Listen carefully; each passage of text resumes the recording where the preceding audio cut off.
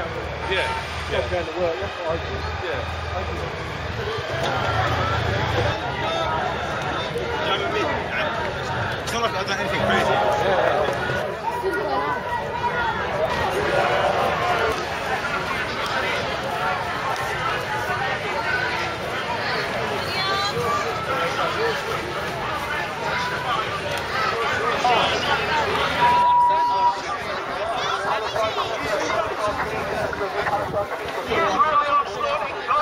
Aid is the continuation of Oslo and Protective Edge its progeny, its monster offspring.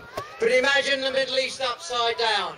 Imagine Israel in the circumstances of Gaza, blockaded, no diplomatic solution. Who in the world would criticize Israel if it tried to fight out from that situation? If all Jews are tired with Netanyahu's stinking brush, the doors to anti-Semitism are opened. The lie that Arabs seek another Holocaust gains currency. The self-sufficing, fulfilling prophecy is set in motion to justify the program of land grabs. Okay, one more.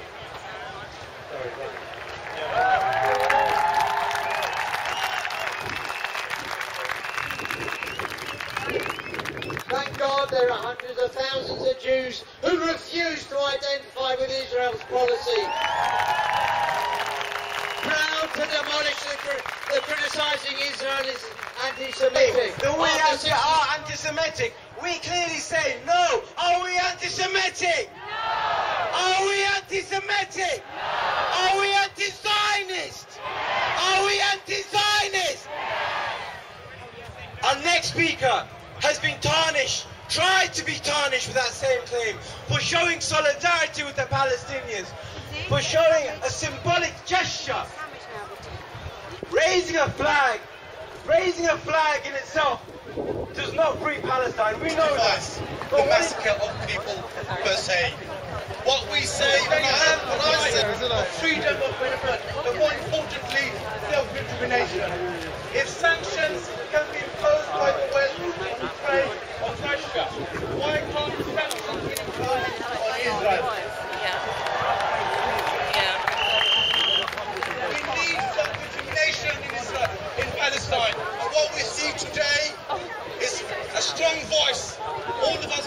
together saying to the governments of the world, we must stand up for the downtrodden. Thank you, Assalamu